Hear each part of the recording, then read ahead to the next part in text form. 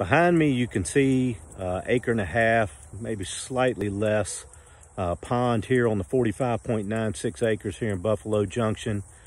And you know, they say if you love what you do, you'll never work again the rest of your life.